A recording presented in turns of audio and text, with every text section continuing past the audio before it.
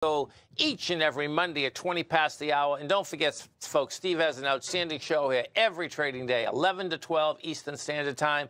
Also, a great newsletter, Mastering Probability. Now, it's very easy to get Steve's newsletter, folks. Come over to our website at TFNN. Go into newsletters, you'll see Mastering Probability on the right hand side. You can get Mastering Probability for one month for $149. You get it for six months for 695, which is a savings of $199 or 22%. And you can get it for one full year for $11.95, which is a savings of $593 at 23%. Now, they all come with a 30-day money-back guarantee, folks, so you can check it out. You're going you're to get, Steve has a huge amount of information on his page, which would be your page when you subscribe. You can learn how Steve looks at the market each and every day. If you like it, great. If for some reason it doesn't work for you, 29th day, cancel it, no questions asked, you get your money back. Steve Rhodes, welcome home. Well, thank you, thank you. Uh, it was a great journey. A I great bet it journey. was. Yeah, uh, you know, we did pretty amazing things. We visited. We were in Egypt, uh, Greece. In Greece, we were in Athens and Santorini. In Yeah. Italy, we were all over the place. We were in the Amalfi Coast. Yep. We were in Florence. We were in Venice. We were in Lake Como. We were in Milan. Sweet. So it was pretty packed. But uh, you know, just a couple, just kind of the highlight reel uh, for you. The very first, so it took about uh, 30 hours to get from here in Palm Beach to uh, to where we were going in Cairo. Okay. And we we landed about two or three in the morning. The very first site that we saw, and it was very busy.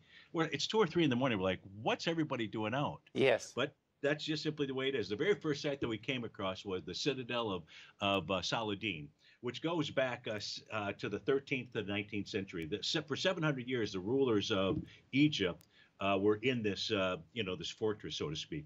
But really cool. Wow. You know, just you know, this goes back to 1176. All of a sudden, you realize, you know, you went from Palm Beach, Florida, you know, really you're in Cairo, Egypt, That's you know, crazy.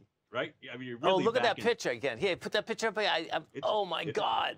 Yeah, gigantic Wow. fortress. Just a gigantic uh, fortress out there. So that's the first thing that we saw. Then we Okay. get to the hotel room. We try to get a little bit of sleep. Six hours later, we're back on the road. And uh, the very first thing that we went to was the oldest mosque in Egypt. So I wanted to do as much as we could the oldest Yep. um, types of things. You I know, can try see to that. get back to the beginning as much as we could. So Sure. we said a, we said a nice prayer in this mosque. Uh, from here, we then went to visit a church called Abu Serga. And it's the cave where supposedly uh, Jesus and Mary sought refuge for three months.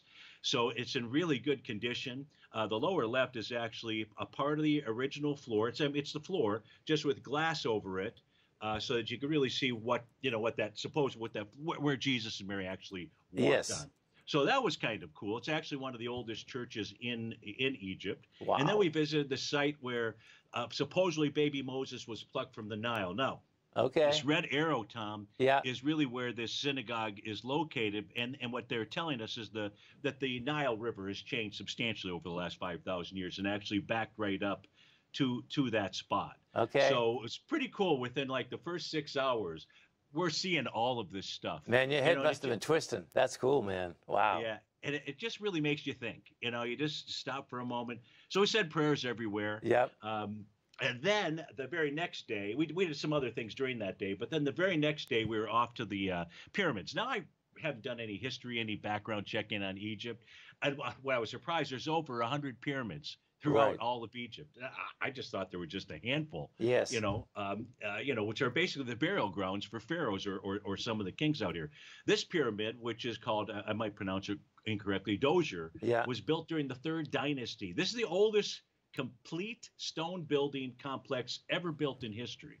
So that was kind of cool to go back to that. So here, Then we let me let me get this Yeah. straight, uh, because that one that you're just looking at, right? We're Yeah. we're right now in 2023, but that Yeah. said that was before before Christ of 2630. Exactly. right. Exactly. Wow. You just start adding the numbers, and you're like, I know. This, Okay. this is this is really history out here. Oh yeah. Then we went to this pyramid. This is called the Red Pyramid. The only reason it's called the Red Pyramid, or a reason why it's called the Red Pyramid, is depending on the sun, the way that it hits it, it has this little red reflection because of the stones that were actually used there, the limestone that was used there. This was built between 2575 and 2551, before what they used there, before the Common Era. So you're really going back in uh, time. And, and if you take a look at this red arrow, it's about it's the, the actual entrance is about three quarters of the way up. It's a good halfway to three quarters of the way up. So we walked up there. It looks like this. You can kind of see a little bit of a path, and then Yep. you st- you know, and then it gets kind of a little weird. This is my wife. I've actually got a picture of her coming. So you have to walk up. It's not a simple walk, Tom. It is a walk. Up I there. bet. And then you've got to walk all the way down, bent down the entire way to get all the way to the uh, burial ground in, inside the bottom of the uh, inside the bottom of the pyramid. Wow. The problem with this pyramid is there were a lot of bats that had got in there, and so the, the bat crap, if you will, smelled a lot like iodine. So we Oh, we only got like halfway down, and we had to turn around. Just you're just worried about right. you know it's it's stone, it's cement. You fall, there's you know it's not going to be easy out there. Yeah. But the, one of the coolest sights, I would say, of everything that we saw in Egypt, one of the coolest sights that we saw, Tom, was this. This is when we were coming out of the old area of pyramids, the first ones that we saw. And what I noticed off to the side was that there was a new ruin. This ruin has been discovered over just simply the last about year and a half, maybe two years, but just in the last two weeks. And this is they think that this is a burial ground. They pulled out uh, two sarcophagus, sarcophagi, I guess you'd call them, yeah. uh, the first mummy that they found was a man that was completely covered in layers of gold. We saw mummies where they're actually supposedly you could actually still see some of the hair. It's- Wow. It's insane. I You know. but but this was so what was cool about this was we were in basically a place where you had the oldest pyramids, the experimental pyramids, you know, that they used, and then they're coming across new findings out there. Right. Who knows what is underneath that uh, desert uh, sand that's out there? Finally, we made it to the Great Pyramids and the Sphinx, and that was certainly cool. The rocks there are just gigantic. The boulders that they use to make this thing, it's it's truly an amazing thing. Then from there, and this was kind of cool, we went on to uh, to Athens, and so th- this is a, ru- a view from my room. okay. And uh, you can see the Acropolis up top. You can see the Parthenon up here. But the reason I took this picture it was about five in the morning, four four thirty-five in the morning. Was it was the only way that I could get a picture of the full moon coming up Look at over the that. Acropolis, right? And so seeing the new with the old is pretty cool. That's crazy. Oh, oh, yeah, no doubt. Eh, You know, so very cool uh, places out there. it shows how from- small we are, man. Holy Oh, cow.